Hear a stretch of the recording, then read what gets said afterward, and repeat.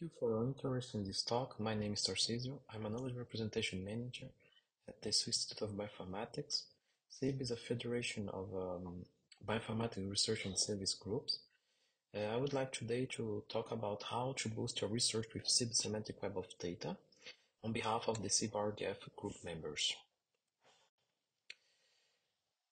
First, I will give you an overview of, about uh, the SIB databases. Um, but the target audience of this talk are biologists and bioinformaticians. Here you can see actually a non-exhaustive list of the SIB database. They contain knowledge that spans several domains in life science, such as gene expression, protein, protein-protein interactions, metabolic networks.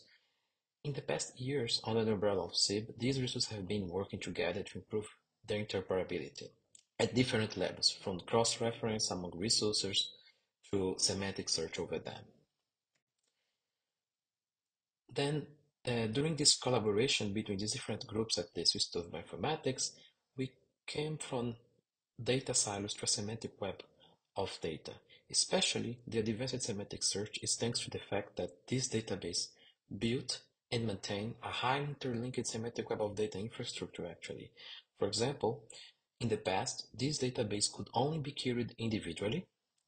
If the user wanted to, to answer research questions um, that needed more than one resource, like for example here in this illustration, a question that would require like a Bgee, Rhea, and UniProt database, but maybe also Wikidata, um, it would require to query them individually, each database, and for and uh, and then manually aggregate or combine these data from these multiple sources actually.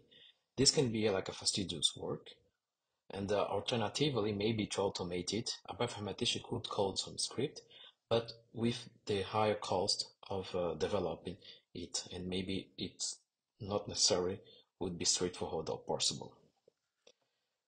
Now, with this semantic um, uh, web of data of SIB, it's possible for the user from one database, such as here, like UniProt, uh, to query not only its data, but also the data of other uh, SIB database, including external ones such as Wikidata. And uh, actually, uh, by doing that, it results in integrated data retrieval from multiple data sources to answer given uh, questions or query of the user. For instance, if we want to combine um, uh, UniProt and Wikidata to answer this question, what are the positions of the APP gene in the human genome, knowing that uh, this gene is cause, can cause a form of um, Alzheimer's disease. This information comes from UniProt, and to know the, the position in a given in the human genome, you will require, for example, to query to combine it and query uh, data, resulting uh, in knowing that this gene is located in the 21 chromosome, but also the exactly position in different genome assemblies, as you can see here in the table. Then now I will give you a technical overview how we federate this SIB data databases in more details. Then what we have done to implement this semantic web of data at the Institute of Informatics was to make them we speak the same language to be able to query those different databases with the same technical query language. And the query language chose was SPARQL.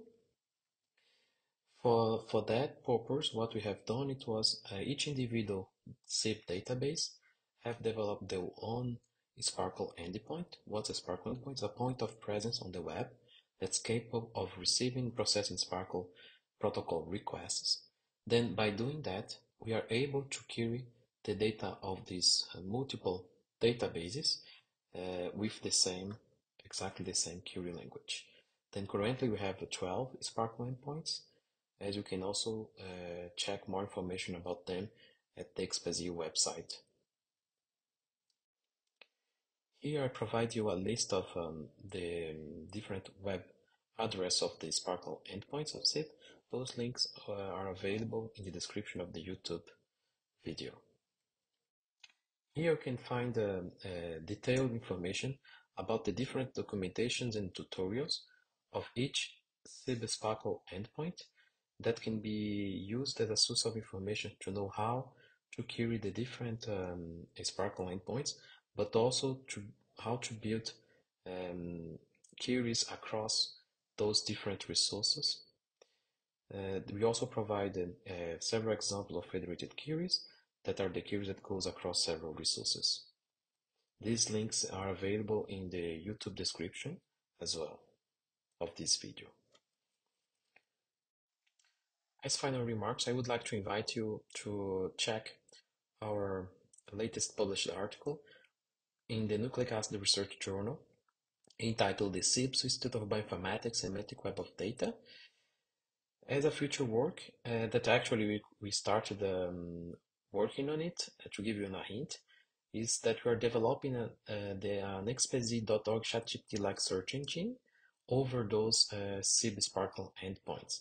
It means that the user won't need to know how to write SPARQL queries to be able to answer the questions and retrieve the data that they are looking for or, or from these uh, different SIB uh, databases.